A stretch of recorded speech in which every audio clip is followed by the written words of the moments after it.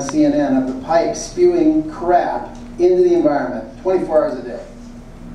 24 hours a day. For months we watched this. Did this change anything? No.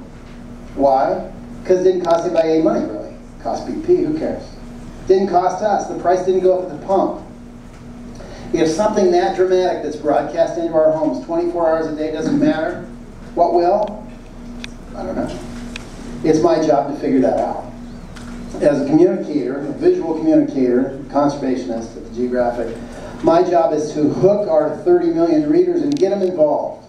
Whether it's koalas, suck them in with the cute pictures, whatever it takes really. A guy dresses up as a koala, I don't know, why not? to show our readers this. I trick them. I show, I show them the pretty stuff, the eye candy, and then I suck them in and I get them to pay attention to this. Why is a picture of a golf course fairway important enough to run in the Geographic? Well, in the context of a koala story, that's it for the habitat north of Brisbane. That's it. if the koala tries to leave, that's bad. He's going to get hit by a car. If he doesn't, he's going to get chewed up by a dog. We do all these pictures in order to deliver a message, I guess, something compelling. What do we have to do to get people to pay attention?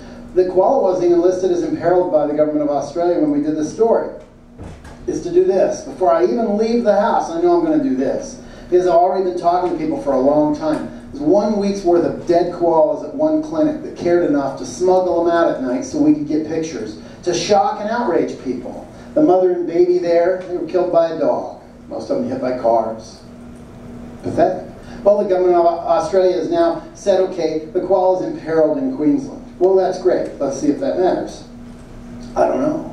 It's a race. It is a total sprint right now between people like us at this conference and everything else. Turbine fields, wind is clean. We want to know whether something's